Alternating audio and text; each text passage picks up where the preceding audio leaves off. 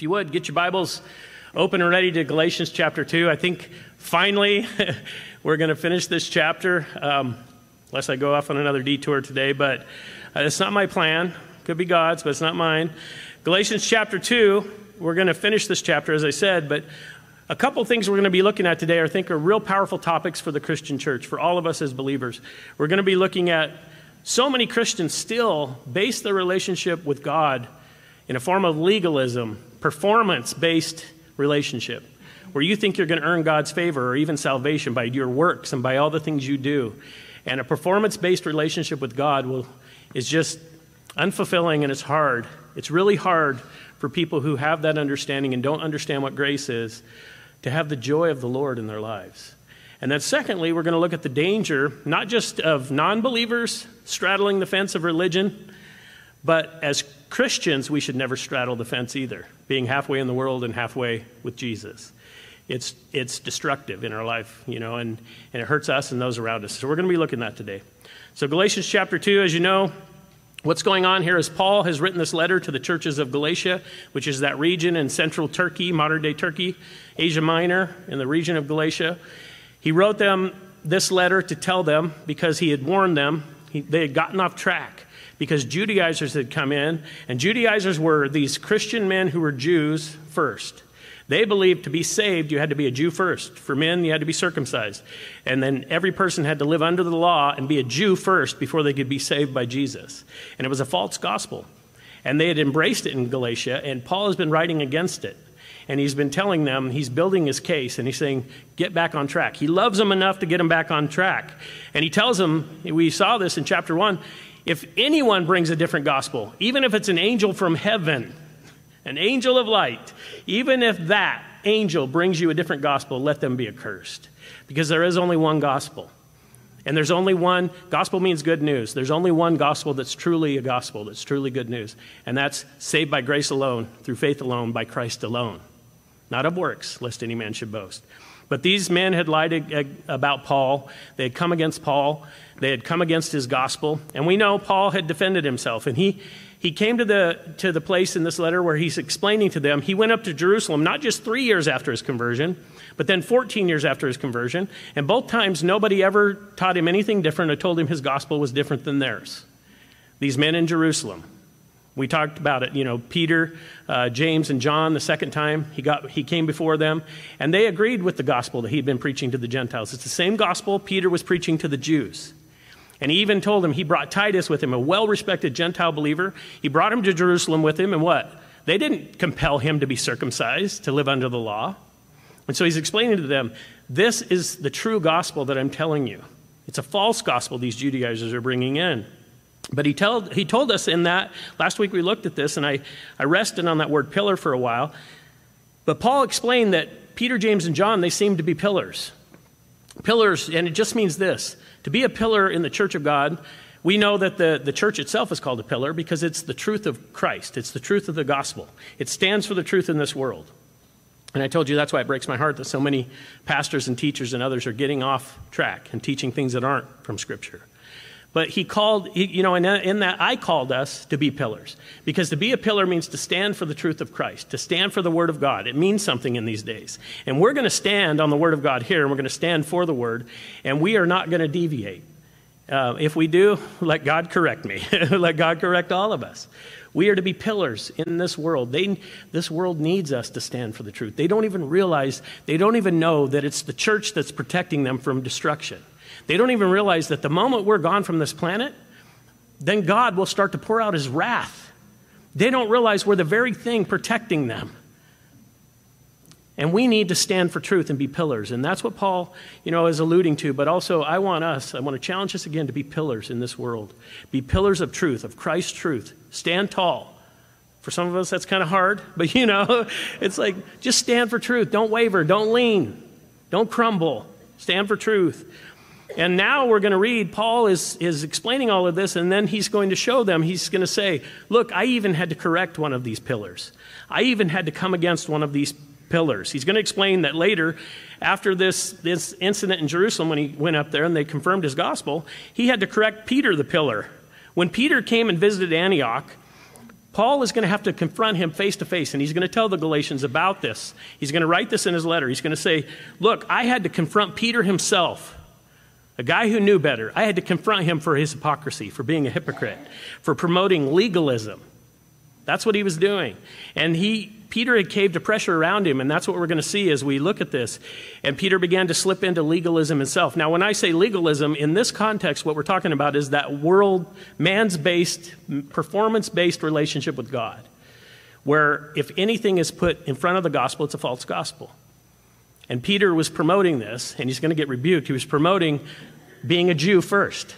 And so that's what we're going to see. So Paul explains this in Galatians chapter 2, verses 11 through 13. I'll read the text and then we'll dive in. Now, when Peter had come to Antioch, I withstood him face or to his face, because he was to be blamed. Verse 12 For before certain men came from James, he would eat with the Gentiles. But when they came, he withdrew and separated himself, fearing those who were of the circumcision. And the rest of the Jews also played the hypocrite with him, so that even Barnabas was carried away with their hypocrisy. Let's pray. Father God, this is your word, and we know your word will not return void. And Lord, right now, we invite you into our hearts and our minds. We invite your word into us, Lord. We know that it gets inside of us, it changes us. This is no ordinary book, this is your living word. And so, God, pour out your spirit upon us, open our eyes and our ears and our hearts to your truth. Help me to get out of the way, Lord, and let your word do what your word does. In Jesus' name, amen. Now, I just have to admit something. you know, a lot of times this is a therapy session for me, so I get things off my chest. Now, when I came back to the Lord, you know, I backslid as a teenager, many of us do, and it's become cliche in this country, but I did. And I came back to the Lord in my early 20s. Now, I did something similar to this, kind of opposite but similar, you'll see, as I try to explain. But when I came back to the Lord, I didn't just get rid of all my worldly friends, that's pretty much all I had. But I started, I had a few Christian friends. And it was crazy because when I'd get around my worldly friends, now they knew I was different because I wasn't cussing, I wasn't doing all these things that they were doing, you know. They knew I was different, but I never talked about the Lord. I never talked about the Lord. I just kind of kept it to myself, my faith to myself, and I didn't stir, you know, or rock the boat. I just went along with it. With my Christian friends, oh man, I was on fire for the Lord. We talk about Jesus, we talk about prophecy, we talk about the Bible. I'd pray before meals, you know, when we go out to eat. Oh man, it was great. Then the two worlds collided. and my Christian friend, he invited me to lunch, and my other two friends were like, hey, can we go? I was like, oh, okay. So we go to lunch. And my Christian buddy, he, he saw, he was, he was from China and he was a strong Christian. Let me tell you, there's some strong Christians in China. Strong. And uh, he, he kind of knew what was going on. He says, Hey, Marty, do you want to pray for the meal? I was like, You jerk. Um, and so I was like, Well, okay. So I pray for the meal. My other two buddies are kind of looking at me like, That's kind of weird. You know, you don't normally do that. Um, but my buddy knew, my Christian friend knew he knew I was being a hypocrite. And he even talked to me afterwards. He's, he got a kick out of it. you know, he was like, Yeah, I saw you squirming. It was great. Uh, whatever. Go back to China, missionary. Honestly, though, this is, this is the powerful thing. That man, let me tell you, it's one of the strongest Christian men I ever met. He was a young man, too, in his 20s. And uh, he did exactly that. And uh, to this day, he's serving the Lord. It's pretty awesome. But here's the thing as a Christian, you know, we can't be half in the world and half in the church. You can't. It doesn't work that way. It'll make you miserable, it'll make everyone else around you miserable. But it's worse for the non believer. Because a lot of times, non believers who, who, who soak their conscience in religion, who go to church, but they're never really born again, they're halfway in the church, but they're halfway in the world, but really let me, let me share with you a story. Recently, somebody shared a story with me, so I went on the internet and found it. It's written by Anonymous, whoever Anonymous is. So um, I want to read you this story, but I thought it was powerful at this point. It says, There was a large group of people gathered. On one side of the group was Jesus, on the other side stood Satan. Separating them was a fence running through the group. The scene set, both Jesus and Satan began calling people to their group. And one by one, each having made up his or her own mind, went to the either side, either Jesus or Satan. This kept going on for some time. Soon enough, Jesus had gathered an, uh, around him a group of people from the larger crowd, and so did Satan. One man didn't join either group. He climbed on the fence, and he was there, and he just sat there. Jesus and his group, and the people then left and disappeared, and so did Satan and his group and the people. The man sat on the fence there alone, and as he sat there, Satan came back, appearing to be looking for something which he had lost. The man said, Have you lost something? Satan looked straight at him and said, No, there you are. Come with me. The man said, But I sat on the fence. I chose neither you nor him. And Satan said, That's okay because I own the fence. And this is the thing. You know, that is so true. It is so true. There is no fence to straddle because it belongs to the enemy. It's enemy territory. Do you understand? It's enemy territory. Jesus said this himself in Matthew 12, verse 30. He said, He who is not with me is against me, and he who does not gather with me scatters abroad. And I, I remember hearing Greg Laurie's testimony, Pastor Greg Laurie, Harvest, and all of that. He said that the thing that really got him as he was listening to, I think it was Lonnie Frisbee or somebody preaching on the campus of his high school, he said, You're either for Jesus or you're against him. There's no in between. And he thought, Well, wait a second. I don't want to be against Jesus. It's a powerful thing when you think about it. But even last week, I talked about that church, the last days church, the apostate church, found in that letter to the church of Laodicea. Well, Jesus told them this in Revelation 3 15 and 16. He said this I know your works, that you're neither cold nor hot. I could wish you were cold or hot. So then, because you are lukewarm and neither cold nor hot, I will vomit you out of my mouth. That to me is one of the most scary, heartbreaking statements I've ever heard. These people thought they were Christians. They were doing all these works. Remember, many in that day will come to me and say, Lord, we did all these works. And he's going to say, Depart from me. I never knew you. You see, there's no middle ground.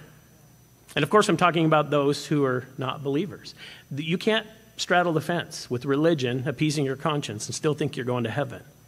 You're not saved by your own works. In fact, it condemns you. So if you're not for Jesus, you're by default against Jesus. You don't want to make Jesus your enemy. You're he's already, here's the thing we were at enmity with God. This is what the gospel is all about. We were the enemies of God before Christ paid for our sins, before he took all of that upon himself. And so, you know, as Christians, we can't straddle the fence either. Non believers for sure, but as Christians either, because what does it do? It damages our testimony. We have no witness to those around us. People will know we're being hypocritical. And not only that, it hurts the Lord because it hurts our relationship with Him. And that's the thing I want us to grasp today is the Lord says, draw close to Him, He'll draw close to you. He wants relationship with you based in grace, not in your works.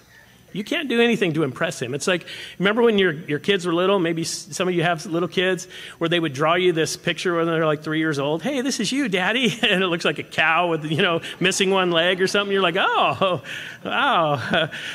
But you put it on that fridge because you're so proud of your son, your daughter. You know, it's like you're just happy at the works they could do. Do you realize that's us in relationship to God? We can't do anything that impresses him except love him build that relationship with him. But here, Peter is, is dealing with hypocrisy. He's trying to straddle the fence. He's avoiding his Gentile brothers and sisters to be with the Jewish people. And he's acting like a Jew under the law first and condemning the Gentiles by doing so. It tells us that certain men who came from James, remember James, the half brother of Jesus, was the leader, he was the pastor of the Jerusalem church. He was in charge of the Jerusalem church. And these men had come from him.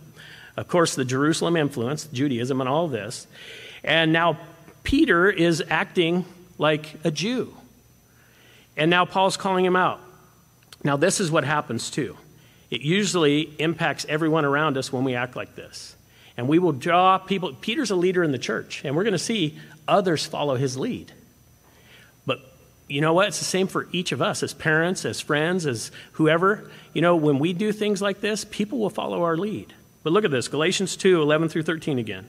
Now, when Peter had come to Antioch, Paul says, I withstood him to his face. That's a bold statement. That's saying, I had to do this because he was to be blamed. He was at fault. For before certain men came from James, that is from Jerusalem, he would eat with the Gentiles. Oh, Peter. But when they came, he withdrew and separated himself. Now, look at this fearing those who were of the circumcision. Religion can cause fear. Religion and legalism, it causes people to cower. It causes people to fear because they don't want to be seen as that one not doing the right thing. And for any who try to argue that Peter was the first pope, he was afraid of these men from Jerusalem. He didn't rule the roost. Do you understand? It's like he was still a human being and he feared religion. He feared what they would say about him back in Jerusalem. Verse 13, and the rest of the Jews also played the hypocrite with him, with Peter, so that even Barnabas, Paul's best friend, the man who came alongside Paul, his name means son of encouragement, even Barnabas, my best friend, Paul's saying, was carried away with their hypocrisy. And this is the thing, again, make it personal. Mom, dad, husband, wife, when you go astray, when you do things, people will follow you. Your kids will follow you. Those around you will follow you when you compromise. And so here we see this leader who should be a pillar in the church, who seemed to be a pillar, Peter the apostle leading others astray. And the thing about Peter is this if you know Peter's story, he is the one man on the planet that should have known better. He is the one person who should have known better. Peter came there to Antioch to visit Paul and the church, but Peter is the man who should have known better. Remember the story of Cornelius, the first Gentile believer in Scripture to be saved?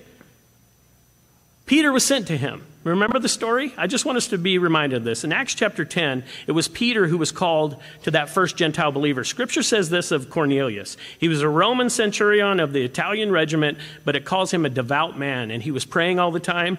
And one time when he was praying, God sends an angel. Look at this Acts 10 3 through 8. About the ninth hour of the day, he saw clearly in a vision an angel of God coming in and saying to him, Cornelius. And when he observed him, he was afraid and said, What is it, Lord? So he said to him, Your prayers and your alms have come up before uh, a memorial before God. Just think about that. Your prayers, do your prayers come up before God as a memorial? Does God hear your prayers? You bet he does. Verse 5 Now send men to Joppa and send for Simon, whose surname is Peter. He is lodging with Simon, a tanner, whose house is by the sea. He will tell you what you must do. And when the angel who spoke to him had departed, Cornelius called two of his household servants and a devout soldier from among those who waited on him continually. So when he had explained all these things to them, he sent them to Joppa. God sends an angel to speak to this Gentile. Says, "Hey, I got something cool for you." I'm paraphrasing that, but how amazing is that? God saw the heart of this man, and He says, "You know what? I choose him as the first one. I choose him as the first Gentile." I love that. By the way, he's a soldier. You know, I won't get into the politics of that, but it's pretty amazing. And he's a leader. And so we know that God's working in all this, and then he prepares Peter in the same way. Because remember, Peter is still at this point, the church is still at this point Jewish. And they didn't believe the Gentiles were saved, and they didn't eat with the Gentiles. They didn't go into Gentile houses. All of this was still in the church until this Acts 10, verse 9 through 16. The next day, as they went on their journey and drew near the city, Peter went up on the housetop to pray about the sixth hour. Then he became very hungry and wanted to eat. But while they made ready, he fell into a trance. You ever done that when you get really hungry, fall into a trance? I don't know. It happens to me. Verse 11 And saw heaven open and an object like a great sheet bound at the four corners descending to him and let down to the earth. In it were all kinds of four footed animals of the earth, wild beasts, creeping things, and birds of the air. And a voice came to him Rise, Peter, kill and eat. But Peter said, Not so, Lord. no, Lord. Remember, I talked about this? It's an oxymoron. You can't say no, Lord. If he's your Lord, you can't say no. you understand? Not so, Lord, for I have never eaten anything common or unclean. And a voice spoke to him again the second time What God has cleansed, you must not call common. This was done three times, and the object was taken up into heaven again. Remember, I told you when God speaks to us once in Scripture, it's something. When He speaks to us twice, listen. But when He speaks to you three times, really listen. He's saying, really, really, really listen. He's telling Peter this lesson. Peter's a little hard, you know, he's got a hard head like some of us. And he's telling him three times, he's giving him this lesson. After this, Peter then went to meet with Cornelius because he knew what the Lord was saying. He understood that God was telling him that it was okay to go to that Gentile's house because before this, they wouldn't even go to a Gentile house. And in Acts 10 28, he said this to them. Peter says this to Cornelius after they meet. Uh, verse 28 Then he said to them, You know how unlawful it is for a Jewish man to keep company with or go to one of another nation. That's talking about the Gentiles. But God has shown me that I should not call any man common or unclean. And then he preaches to the whole house of Cornelius, and he tells them this in Acts 10 34 and 35.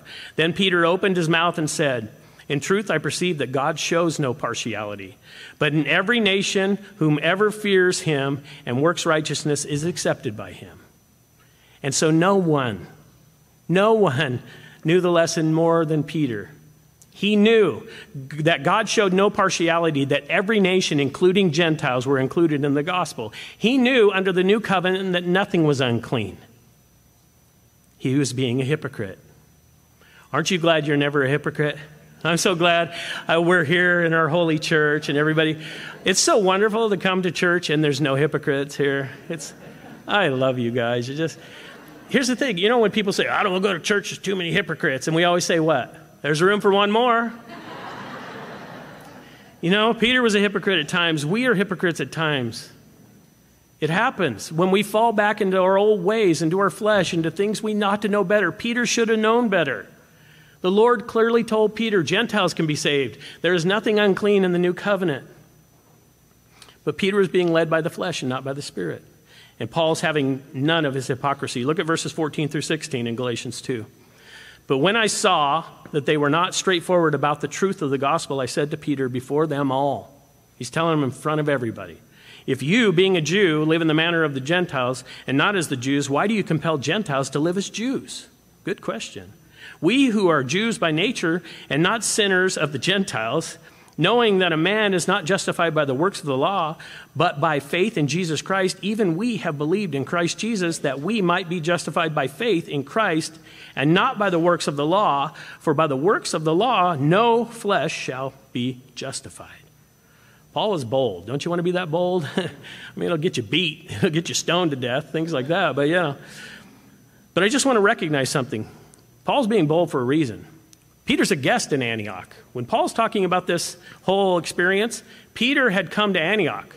Understand, this was Paul's home church. Paul had been pastor to this church for a number of years. These were his people. And let me tell you, if somebody comes into this church preaching a new gospel, uh, bringing people, raising people up in legalism and doing those things, I'm going to stand against it. I'm going to come against it. I have every right. So do the other pastors and leaders in this church. This was Paul's church. He didn't go to Jerusalem and start telling the Jerusalem church what they were supposed to do. I'm not going to go down the street and, and tell some church what to do. But if they come into our church, they came into Paul's church, even Peter, teaching a different gospel, raising up legalism, drawing people into himself, we have to stand against it. And that's what Paul is doing. He's being bold. That's what Paul's doing right here, even if it is the pillar known as Peter. Even if it's Peter. He's protecting the flock, but he's also lovingly correcting his brother in Christ. And this is the thing I want to mention. It doesn't matter what position in the church. It doesn't matter if it's the pastor, the elders, the deacon, you know, anybody who serves in the church, or just everybody who comes to the church.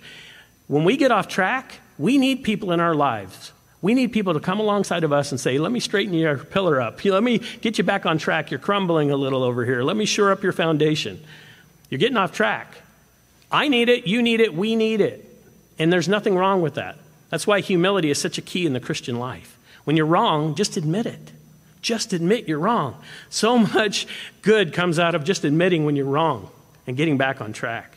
And that's what's going on here. He tells Peter in verse 14 if you, being a Jew, live in the manner of the Gentiles and not as the Jews, why do you compel Gentiles to live as Jews? What he's basically saying is, you know, Peter, before these men from Jerusalem came, you were eating a ham sandwich. You were over there at the all you can eat shrimp buffet. you were popping lobster. I saw you. Don't tell me. And then all of a sudden, when they show up, what happens? You're Rabbi Cephas? You know? Think about it. He's, he's calling him out for his hypocrisy. Before these men showed up, you had no problem fellowshipping with the Gentiles. You had no problem eating at their table. You ate their food. You ate with them. And now these men show up. It's like, you know, you, they invite, you know, these men to lunch and you're going to act different? You're going to be different? You're going to separate yourself? This is what he's saying. He's saying, Peter, you ought to know better. Verse 15 and 16 again. We who are Jews by nature, that means born as Jewish people, and not sinners of the Gentiles, knowing that a man is not justified by the works of the law, but by faith in Jesus Christ, even we have believed in Christ Jesus, that we might be justified by faith in Christ, and not by the works of the law. For by the works of the law, no flesh shall be justified. If you, a Jew, born as a Jew, under the law, if you've discarded the Jewish customs and all the regulations of the law, how is it, Peter, that you're now trying to make the Gentiles live like you? Telling them they're less than you. And Peter and them might have argued against it. I love what Pastor David Guzik wrote in his commentary. Perhaps Peter and the others might say, We're not making them live as Jews, but of course they were, because their message was, Unless you live as Jews, you aren't saved. This did, in fact, compel Gentiles to live as Jews. Paul states, Hey, you know what? We're not justified by the law. The law can't justify any of us. And this, this is the thing. He's telling them they're justified by Christ alone, and I love this word, justified. You've probably heard that before, just as if I'd never sinned, justified. That's what it literally means. This word in the Greek is a powerful word because it's declaring in this context that you're justified before God on Judgment Day. You're justified through Christ, not by your own works, just as if I'd never sinned. Can you imagine? I told you that story, that guy's dream, where he's standing in front of the Lord and he's crying and he's, he's just he, he sees the lord and he's never felt such love and all he can think is lord i'm so sorry for my sin and the lord said to him what sin you know think about that when you and i stand before the lord justified just as if i'd never sinned just as if i never said that stupid thing just as if i never hurt those people just as if i'd never done that just as if all of my sin all of your sin is forgiven and forgotten. Justified. What a powerful word.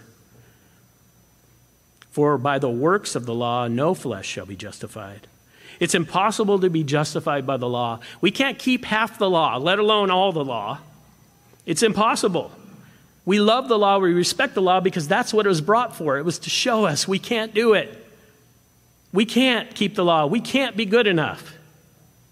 We're hopeless without God. That's why He reached down from heaven. That's why He became a man and walked among us, because we couldn't do it. He fulfilled the law because we're failures. And He knew that about us. And He justified us through the blood of Christ. I think Paul, you know, he's adding all of this information about Peter in this letter just to remind this group in Galatia, to remind them how important it is to stay on track and how easy it is to become legalistic, that it can happen to anybody, even leaders in the church. It's easy to start being hypocritical and go along with the crowd. It's so easy. I think all of us know this. You know, I've seen it so many times in my own life where all of a sudden I get off track a little bit because of some person or some relationship I have in the church or some, you know, um, friend or whatever, and then we start talking about the scripture, and then, you know, they bring up these things, and then after a while I start believing what they're saying. It's happened to all of us in our Christian walk. Be careful. Test all things, help each other, stay on track. And then Paul is going to add these powerful words, and this right here I'll tell you, if you can grasp this section of Scripture, you can really grasp this, it will change your Christian life radically. I don't say that lightly. Look at this Galatians 2 17 through 21. But if, while we seek to be justified by Christ, we ourselves also are found sinners, is Christ therefore a minister of sin? Certainly not. For if I build again those things which I destroyed, I make myself a transgressor. For I, through the law, died to the law that I might live to God. I have been crucified with Christ. It is no longer I who live, but Christ lives in me. And the life which I now live in the flesh, I live by faith in the Son of God, who loved me and gave himself for me. I do not set aside the grace of God, for if righteousness comes through the law, then Christ died in vain. You know, the thing about cults and other religions and all this, you know, that add things to the gospel? What they're really saying is the cross doesn't mean what it really means. What they're saying is the cross isn't enough. If it's Jesus plus all these other rules and regulations, these other books, these other things, then what they're really saying is the cross, doesn't, the cross isn't sufficient. The cross isn't enough. Could you imagine saying that to the Lord? Oh, I know what you did, Lord, but it's not enough. I got to fill in the gap with this special work I got to do, with this other book I got to read. What an insult to the King of Kings, the one who came and walked among us, Emmanuel, lived a perfect life, and went to that cross for every one of us, took all of our sins upon himself, endured all of that for us, and then to say, well, that's not enough. I got to add some things to it. That's heartbreaking. But if you can grasp what's being said in this passage, I promise you it'll change you radically. Because this is one of the hardest things for Christians to grasp is the grace of God and what it really means. Now, let me set the stage again. So, what's going on? Paul's explaining in this letter to the Galatians about this experience in Antioch.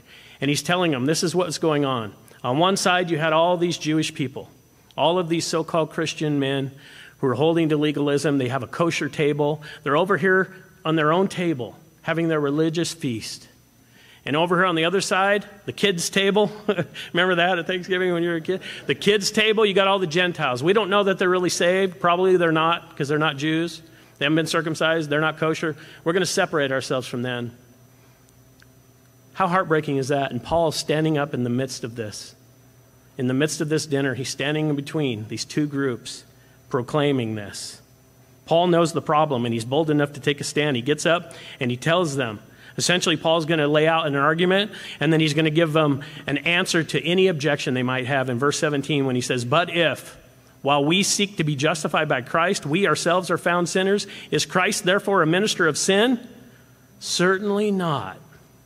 What he's asking Peter is this He's asking Peter and all of those who are with him. He says, If we eat with the Gentiles, because we were, Peter. You and I were eating with the Gentiles before these men arrived. If we're eating with the Gentiles, and you're correct in your assessment of separation, then myself and you, Peter, we've fallen backwards. We've become sinners again. Do you understand, Peter? We were eating with them before they got here. I just want to challenge each one of us, too. Because, you know, here's the other thing. In these days, we want to reach our friends and family. We want to reach all of those in this generation for Christ. We are in the world, we're not to be of it. I'm not saying be of it. But it's really hard to reach people for Christ when you cause separation, when you want to just completely separate yourself, never talk to them and tell them how horrible they are all the time and things like that. You know, I've heard of testimonies where, where families, religious families, will just rebuke anybody that doesn't believe the way they are. They won't ever talk to them. How are you going to do that? How are you going to do, if you create that kind of separation, how are you going to reach them? You don't have to compromise. They, they know that. Now, sometimes they cause the separation, right? Friends and family, loved ones, they won't have anything to do with you because they know where you stand. But I would just challenge us in these days how important it is. The rapture, I believe, could happen in any moment. I don't want to leave anybody behind that I love and care about, let alone, I don't want to leave my enemy behind. Do you understand? And so remember this. I don't know. God just put that on my heart. Just remember this. Stand for truth. Don't compromise, but try to reach them. And don't just, you know, throw them aside and say, I'm never doing, uh, talking to them again. Just try to reach them if you can. Because in the days we live, I think it's important. But according to these men from Jerusalem, they were telling them that they have to be Jews first. That's what their doctrine was. And that, that you had to live under the law. So every man had to be circumcised, and you still had to live under the law. You had to become a Jew first before you could become a Christian. And so, what is, what is Paul saying? He says, We were doing all this before before they showed up. So are we sinners? Have we fallen back? Does this make Christ a minister of sin because we're sinners? Verse 18 and 19 again, he answers with an emphatic, certainly not. And then he says this For if I build again those things which I destroyed, I make myself a transgressor. For I, through the law, died to the law that I might live to God. And this is what I want us to really grasp. Do you see that? He says, I, through the law, died to the law. The very law that I'm dead to is the very thing that killed me. The law brings death. The law killed you and I. Pastor Chuck used to use this example, and I want to use it because I love it. Let's say a man is convicted of murder, and he's given a life sentence in prison. He's given the death penalty. Okay? He's found guilty. They pick him up in the prison bus and they're taking him to prison. But guess what happens? He dies of a heart attack on the way to prison. Well, let me ask you a question. Are they still going to lock him up? Are they still going to give him the lethal injection? No. Why? Because he's dead. The law has no more power over him. He's dead. Do you understand that's what's being said for us? The law condemned us, the law killed us. We're dead. But this is what I love. I love this. But we live through God. You see, the law killed us. It's the very thing that condemned us. It's the very thing that killed us. We're no longer under the power of the law. Verse 20, Paul adds this I have been crucified with Christ. It is no longer I who live, but Christ lives in me. And the life which I now live in the flesh, I live by faith in the Son of God, who loved me and gave himself for me. Paul proclaimed the moment we die is the moment we live. The law killed us. We're dead to the law. It has no power over a dead man. Do you understand? We were rescued on the way to prison. We had no future. We had no hope. The law killed us, it condemned us, but we were made alive in Christ. And this is the thing this is the thing that people struggle with in their relationship with the Lord. What you don't realize is you can do nothing to save yourself, and maybe you do. But also, you can do nothing. God loves you right now as much as He ever will, and He can't love you any less. God says, Draw close to me and I'll draw cl- close to you. It's just a relationship that He wants. He wants you to live your life in grace, not legalism. Legalism says, God, you owe me. God is a debtor to no man. Legalism says, you know what, I'm doing all these good works. God, reward me. Lord, I, I messed up this week, but I'm going to do three good deeds. I'm going to try to do better. I'm going to say these prayers. And it's a miserable existence. But when you realize it's grace and you have your relationship with God based in grace, where you draw close to Him and you build a relationship with Him, it will empower you in ways you don't fully rec- uh, recognize or understand.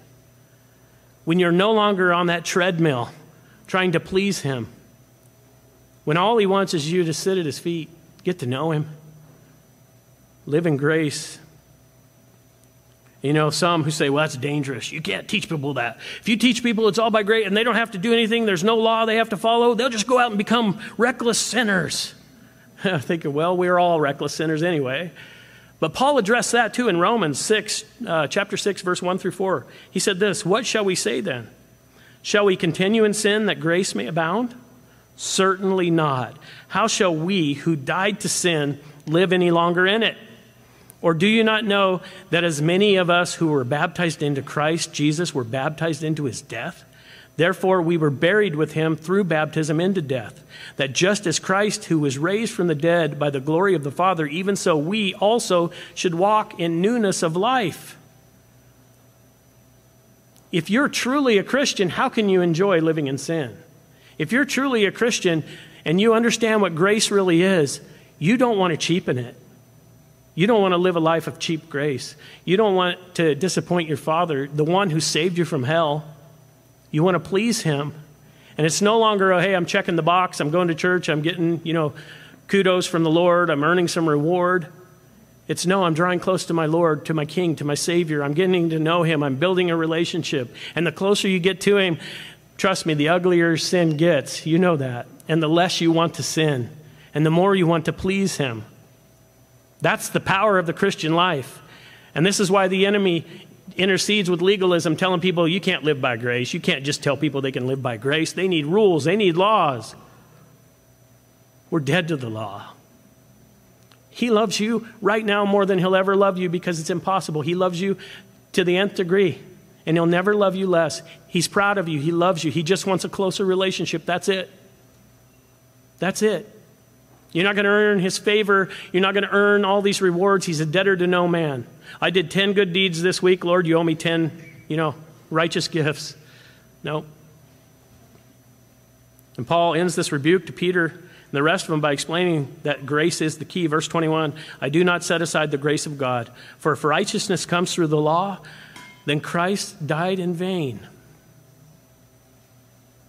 Every time we try to earn it, every time we get back on that treadmill in our performance based Christianity, that's what we're saying. We're saying that Christ died in vain. Might, might sound a little extreme, but test it. He loves you with an everlasting love. You're his child, you're, you're going to heaven. Do you understand? You can never be more holy than you are now because it's Christ's holiness, it's Christ's righteousness, it's Christ who lives in you. Your body is dead because of sin, but your spirit's in life because of righteousness. Christ lives in you, the hope of glory. When he, when he looks upon you, he sees his only son. I pray that all of us would embrace this, would really grasp who we are in Christ. Because I think it's a powerful thing. And Paul proclaims that he's not setting aside the grace of God. And Paul's reliving this uncomfortable moment in this letter to the Galatians because he knows it's going to help them because they're dealing with the same issue. They're dealing with the same issue. And maybe today you're one who's caught up in the performance based Christianity. Maybe you're constantly beating yourself up. Maybe you're constantly talking horrible about yourself. I just keep failing. I'm miserable. God, how do you even love me? You know, you just go through that cycle where you fall, you sin, you have trouble, you have an issue, you beat yourself up, and you think, Lord, why do you even, I, I don't even know if I'm saved. All that's a lie from the enemy. Do you understand? He wants to keep you from being getting closer to the Lord. He wants to stifle your testimony. That's what the enemy's doing when he's trying to put those things in your head. He will never love you more. He can never love you less. You are completely justified in Christ. And you know, today I found this list online and I've added to it. Um, I'll put it on the screen in a second. Uh, just hold off on it. Um, but I want to read this list to you because this is what happens when you and I become saved, when we're born again, when Christ puts his spirit inside of us. There's a list of things that God says about you and me that I want to remind you today, to empower you today, to build that relationship with Christ, to build that relationship with the Lord through grace, not through your works, because I want to show you who you are in Christ. This is not an extensive list, this is just some of the things I collected.